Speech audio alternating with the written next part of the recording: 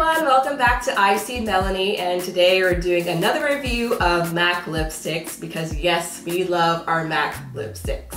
And as I'm sure all of you know, the Giambattista Valli collection came out last week and yeah, and it sold like hotcakes. Yes, yes. So we'll be reviewing four out of the five shades because one of the shades called Bianca B, yeah. right, is a pale white pink color and we knew it would look horrible on our NC well, her NC45 and my NW45 skin tone. It's not a good look.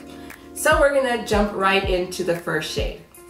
So the first shade that we're wearing today is called Margherita, and as you can see, it's it's a bright peachy shade. I think on the MAC website it's described as a yellow peach, a bright yellow peach. yeah. And yeah, it's pretty bright. Um, I, I like this color, but again, I would not leave the house wearing this color without a lip liner. It's just, it's not. I don't think I leave the house wearing this color at all. Like, this looks pretty bad.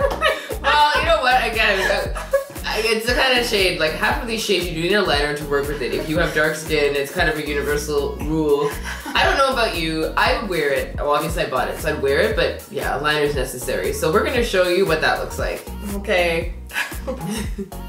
So this is us wearing uh, Margherita with cork lip liner, which I think you'll probably agree looks much better on both of us. Better? So wear it with Night Moth. I know I mention that all the time. It's another more berry shade that I think would look good too, but I think this is a pretty good match for this one.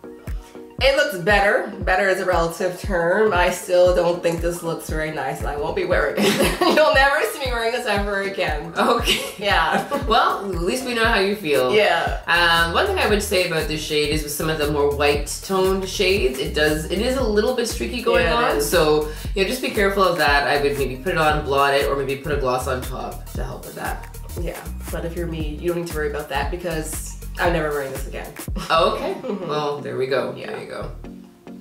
Okay, so now for those of you who weren't able to get this shade, I've swatched Sushi Kiss next to it. And the only difference I'd say between these two is that Sushi Kiss is a satin. Otherwise, they're so, so similar. I think Sushi Kiss is slightly pinker, but pretty much the same thing. So the next color that we're wearing from the collection is called Tats, and it's described on the website as a bright hot pink, which I'd say is a pretty accurate description. Mm-hmm. I really like this shade. I actually wore the shade all day yesterday, and it was really, really easy to wear. It went on smoothly. I like it. Yeah, I like it. It's very bright. It's very nice, and it's great for the summertime. I think it's very pretty. I no complaints here. This is much a great improvement over the last one. Yes, I, I, would tend to agree, and I think with this one as well, you don't need, probably don't need to wear lip liner, at least I don't feel like I need to. No, I don't think so either. Yeah, yeah, this is definitely a good one. I like this one a lot.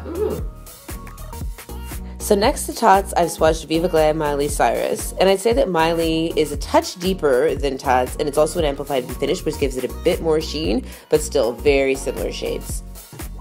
So the next shade that we're wearing is called Charlotte, and this one's described on the website as a rich yellow red, which I think is a pretty accurate description again. I think so too. It's nice. Um, I do prefer the more bold reds. This is very nice. I think this, I would wear this color more in the fall or the winter. Hmm. But um, it's, it's pretty. Yeah, I mean, I like it. I'd wear it now. It's um, I, I really like it. It's just easy to go on, really smooth, just like Tats. I really like it. I wore it on, I I wore it on Monday, and it was good. It lasted all day, and I really enjoyed it. Mm-hmm. So next to Charlotte, I've swatched Russian Red, which is one of my all-time favorites. Russian Red is a blue-based red versus Charlotte, which is a yellow-based red, but on the lips, they look almost identical. Both have that creamy matte finish.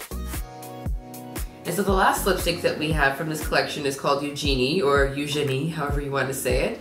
And it's described as a wine with blue undertones. Dark cherry. Dark cherry, sorry about that. And again, I think they did a pretty good job of sticking to accurate color descriptions. I would say that is accurate. Mm-hmm. So how do you feel about this one?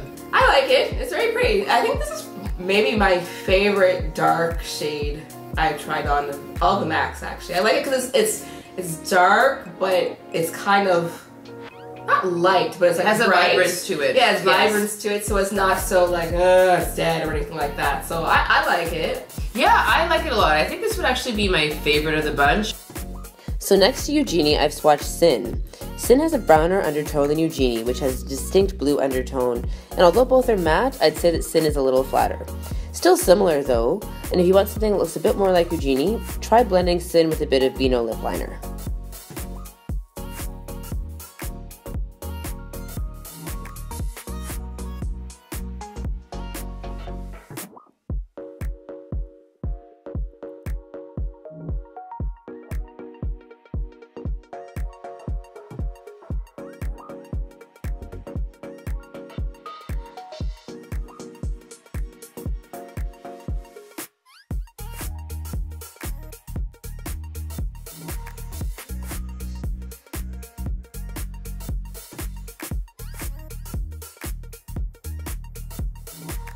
I think this collection is great, but I mean, I do think that if you weren't able to get these colors, you know, there are a lot of colors that are similar. Um, but you know, overall, they're really good lipsticks. I would say the four that I that I picked up, you know, good texture. The uh, Margherita can be a little bit iffy, but I think you know all lighter shades of, that are matte tend to be like that. Yeah. So yeah, otherwise, I think this might be my favorite one too. I do like the vivid coolness that you see coming through from it.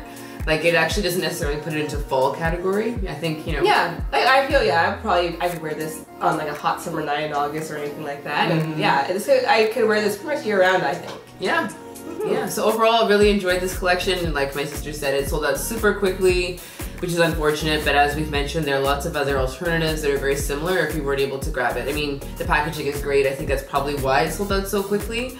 Um, but yeah, not to worry if you didn't get it. There were lots of alternatives and. Hope you enjoyed the video. Mm-hmm. So don't forget to subscribe to I See Melanie for more videos like this and all sorts of crazy and fun things. Mm-hmm. And don't forget to subscribe, thumbs up, and I'll see you later, okay? Bye!